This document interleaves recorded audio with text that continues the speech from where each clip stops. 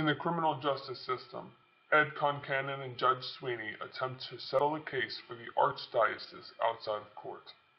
Frank Galvin, a low-life drunken lawyer, is determined to seek true justice for his client and redeem his good name. This is their story. Reminds you of old times, doesn't it? Can't believe you still have it, man. Oh, of course. Reminds me of the time they kick your ass in golf, though. Please. I have to take you up on a gentleman's wager at the next golf tournament. You know I'm always up for it. So some more ass kicking of yours. Sounded weird, but you know, you get what I'm saying. I do.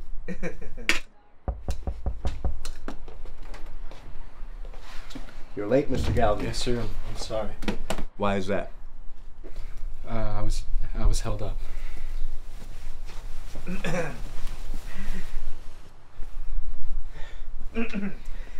Ed, Ed Cannon.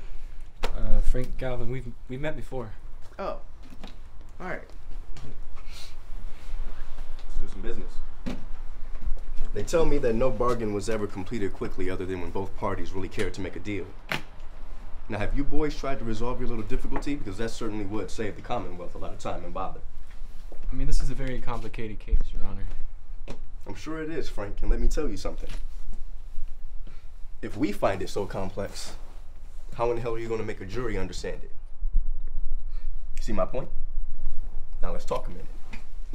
Frank, what would you and your client take right now, this very minute, to just walk out of here and let this whole damn thing drop? My client, my client can't walk, Your Honor. I know full well she can't, Frank. You see the Padre on your way out and he'll punch your ticket. Follow me? I'm trying to help you. Your Honor, Bishop and his archdiocese has offered him two hundred ten thousand dollars. Huh. Excuse me. They don't want to settle him at a price. They want to settle him in court. They want their vindication, and I agree with them. But as of today, the offer stands. Before we make this court public, and only for today.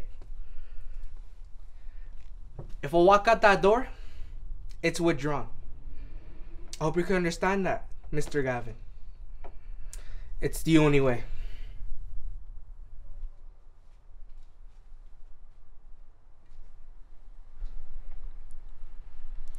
We are trying this case.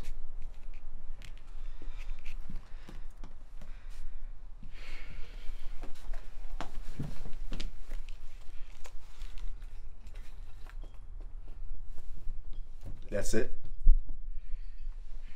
Come on, guys. Life's too short. Tell me if you're playing chicken or you mean it.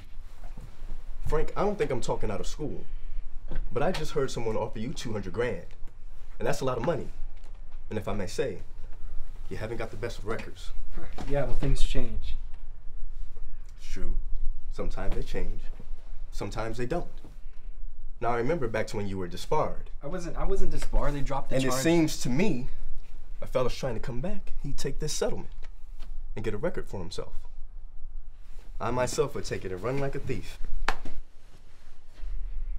yeah, I'm sure you would.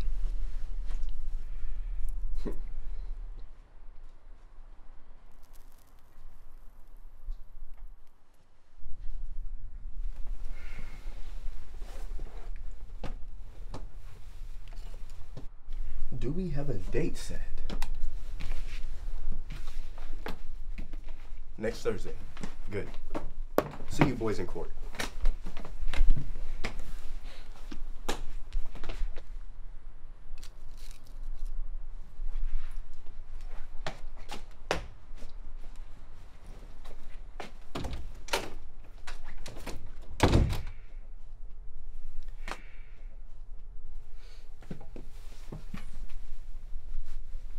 Next Thursday.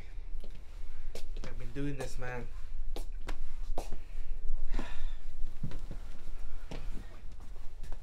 Take you out to lunch. That Some guy.